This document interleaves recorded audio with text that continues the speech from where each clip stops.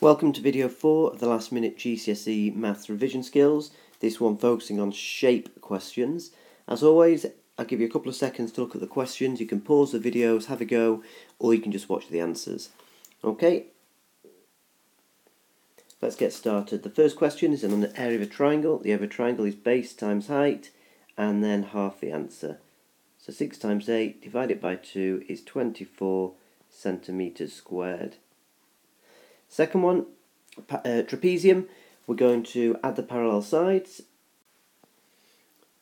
in this case being the 5 centimetres and the 9 centimetres, the parallel sides. So we add those together, we then divide that by 2, and finally we multiply it by the height in between them, which in this case is 3 centimetres, the height between them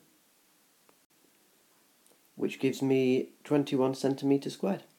Question 2, the area of the shape, I'm going to split it up into two, shape 1 and shape 2. Shape 1 is a rectangle which is 3 width and a height of 9, so 3 times 9 is 27. Shape 2 is also a rectangle, however, its width is not 7, its height definitely is 3, but the width is going to be 7 take away 3, which is 4.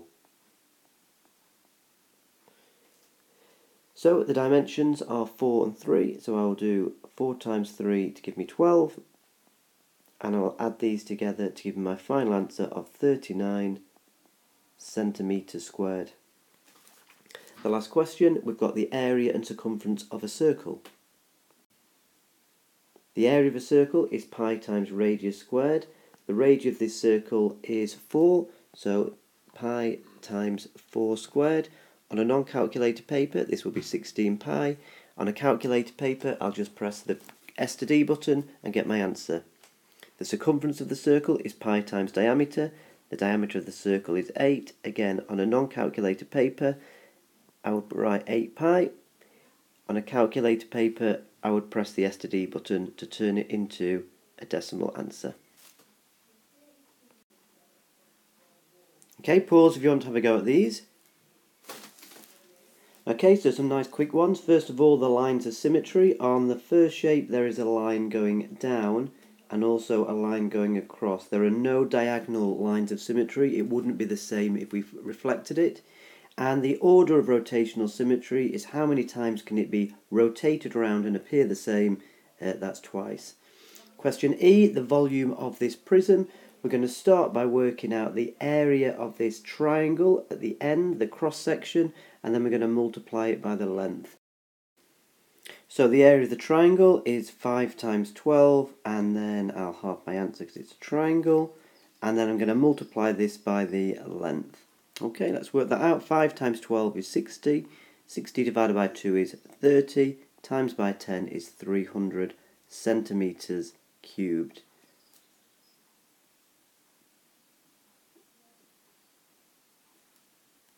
And finally, uh, we need to know the different parts of a circle. There are just four parts here. There are a couple of other words that you need to know as well. Uh, the top one, a line that touches a circle, is called a tangent. Uh, on the right hand side, a line within a circle from one side to the other that doesn't go through the middle is called a chord. On the middle on the left, a line from the middle to the edge of the circle is called a radius. And finally, the edge of a circle is called the circumference. Okay.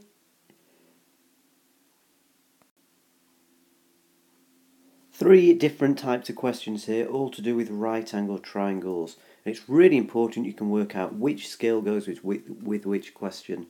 The first one is to do with two sides of the triangle and it wants to know the third side. Since it's only to do with the sides of the triangles, I know it's a Pythagoras question. Square it, square it, add or take, and then root it.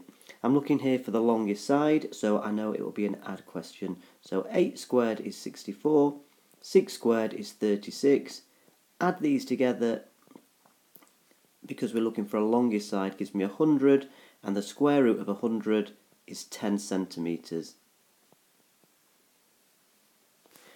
Second question, again, right angle triangle. It's got a side, a side, but this time it's got an angle. That's a clue that it's a SOHCAHTOA question.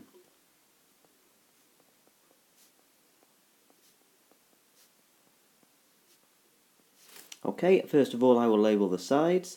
Away from the angle we've got the opposite and this longer side is the hypotenuse. So this side uses the opposite and the hypotenuse. They're the sides that have been marked. Looking at SOHCAHTOA underneath, it's going to be the sine, the SOH pyramid that I need to use. I'll get this ready to be filled in. Okay, so the opposite has got an x on, the hypotenuse has got a 12 on, the S stands for sine, and since we're given an angle, I can put that angle in. So sine 30. Remembering on one of these pyramids that when the two things you know are on the bottom, we are going to multiply them together. So I'm going to type into my calculator sine 30 times 12, it will give me an answer of 6 centimetres. Over on the right hand side, again we're given two sides, and it's to do with an angle. So again, it's going to be a SOHCAHTOA question. I'll label the sides, opposite from the angle, and this is the adjacent. Don't need to label the hypotenuse because I don't need it. The SOHCAHTOA pyramid that's got an O and A in is TOA. And once again, I will label the sides. The opposite is 7, the adjacent is 15. I need to write in the, ta in the T, I need to write tan now, since we haven't got an angle, this is where I press Shift tan on my calculator, which reminds me it's tan minus 1. To put this on our calculator, we will type in tan minus 1, and since those numbers are on top of each other, I will write them on top of each other in the same way they are in the pyramid, and that will give me my answer, which is 25.0168 degrees and I could round that if it asked me to. Two angle questions here. Notice I need to give full reasons. That's very important. No reasons will restrict the number of marks you can get. I'm not going to show my calculations here. I will do in the exam. First of all, this angle on the left of the one on the outside can be calculated because angles on a line add to 180. 180 take away 124 is 56 and again I will show that calculation on my exam paper in the exam. Make sure you do give full reasons as shown here. Okay, now we know that the angle on the right within the triangle is 56. We also know the one on the left, which is also 56. That's because this is an isosceles triangle. Again, be sure to write your reasons down. And finally, uh, since the two within the triangle are 56, adding these together gives me 112. Taking that off 180 gives me 68 for the final missing angle. Again, I'll show all those calculations on the exam paper, but I now need to write down the reasons. Okay, moving on to the second question. What's interesting here is I can see that there are parallel lines marked by the arrows. This is a five mark question or a four or five mark question, so we're going to have to work out four or five angles before we can get to the final section. It can't be done in one move. So first of all, I can see that the, I think one of the only things I can work out at the moment is this angle here within this triangle, this missing angle up here. Because I know angles in a triangle add to 180. By adding these together and taking it off 180, I get 22. Now I can see that I've got one of my parallel line uh, angle rules now. I can see there is a big Z here which tells me that the two corners within the Z's are the same angle which means this one here is also 22 degrees.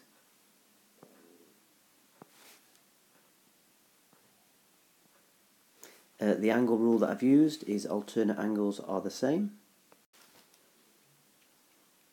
Next I'm looking for any other angle I can find within this shape and actually right now I can see that this angle here must be connected to this angle on the right hand side of it since they're both on a straight line.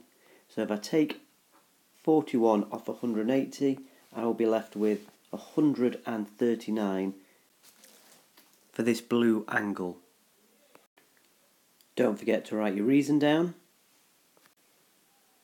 Finally, I can now work out angle x because again I've got a triangle down at the bottom of the page. So by adding the two angles together, 139 and 22, and subtracting these off 180, I am left with 19 degrees. I've already used, um, written down the angle rule that I have used for that one, so I could rewrite it, or I can just let the examiner know that that rule applied to both of those particular angles. My answer, 19 degrees.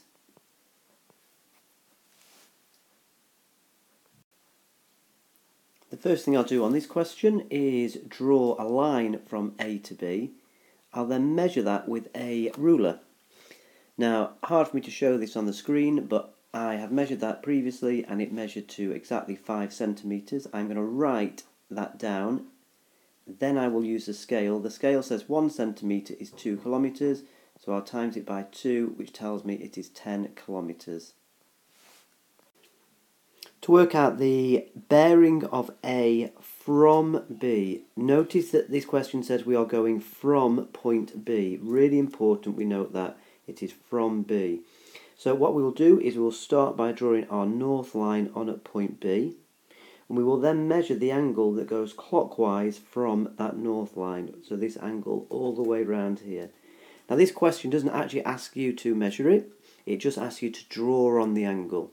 But when you do uh, measure angles, and I measured this one separately, it was 265, it's always given as a three digit answer. So if your answer was 53, you'd write 053. Calculate the size of the exterior angle. Well, all you need to know about any regular polygon is that the exterior angle, that's this one here, is 360 divided by the number of sides. In this case, it's 6, so that would be 60 degrees. It doesn't ask for this in the question, but it's important to note that the inside angle, the interior, would be 120 because that's 180 take away 60. On the last question, it's asking me to describe a transformation. There are four different transformations, and I like to use the name Terry to help me remember these. Translate, enlarge, rotate, reflect, yes, remember them. So the first one from A to B has been translated, and to work out exactly um, how far, we're going to look at one um, corner of shape A and one corner of shape B. I'll use this top left one. And I can see that it's gone left 4 and then down 3 so using a vector that will be minus 4 and minus 3 remember the first number on a vector is always how far left or right and the second number is always how far up and down.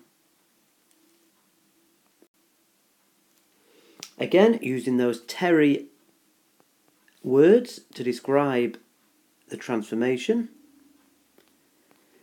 we are going to describe the next three. So A onto B here has been reflected and it's been reflected in the mirror line that I've just drawn on and that mirror line is y equals minus 1. The middle one has been rotated. I need to write down how far it's been rotated 180 degrees clockwise and whenever we describe rotations, we also put where it's uh, the center point is. In this case, it's around 0, 0, and we can use tracing paper to help with that. The last one has been enlarged. Now, since B is twice as big in all dimensions, we can put that the scale factor is 2. And finally, we would want to know where the center point is. I will draw on lines from each corner. So first from the bottom right corners and now from the bottom left. And we can see that these two lines cross at the point 51. So again, this is the center point. So from point 51.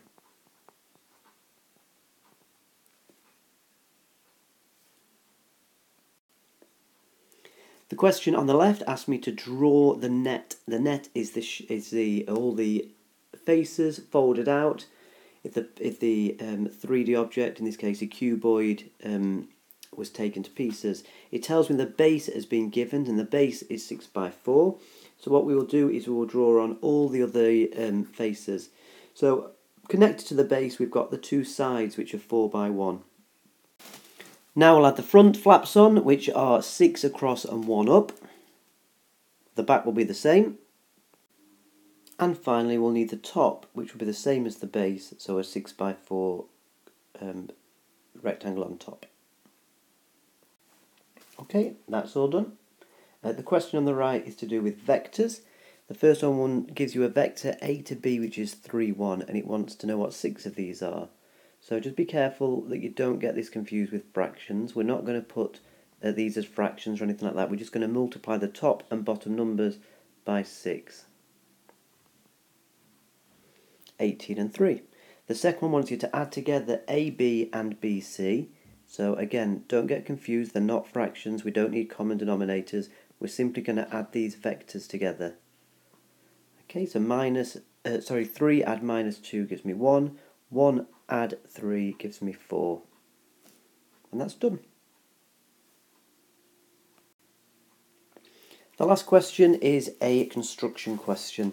Read it really carefully and we'll see we've got a park, there's a scale being given and a new play area is going to be constructed within this park. It's got to be no more than 60 metres from point B. Now, just highlighting that for a second, 60 metres on this scale will be 6 centimetres. And I urge you to write that down because you're going to show the examiner that you're going to start this question. So I need to draw a 6 centimetre circle around point B. Okay, let's move on to the next clue. It's got to be closer to AD than CD. Let's just highlight those lines on the diagram.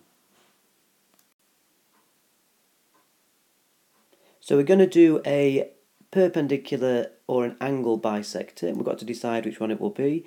Well, since I've made a V shape here, it's going to be an angle bisector. If you need to revise these, please see the separate videos. We start by drawing on the arcs using the point at point D. And now we get crossing arcs, putting the points at those two arcs that we've just made. And finally, we'll draw a line from point D through the crossed arcs.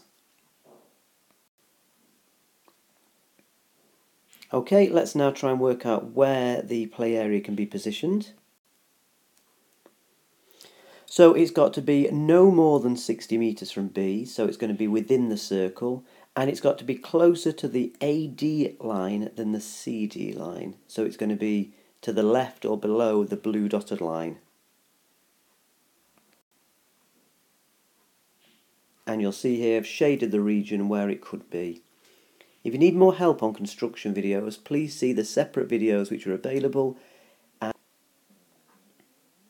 I hope you found this fourth video on last minute foundation math revision useful.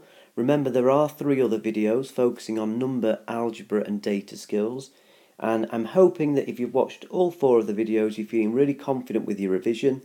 If you need help make sure you see a teacher in plenty of time before your exam and good luck with your last minute revision.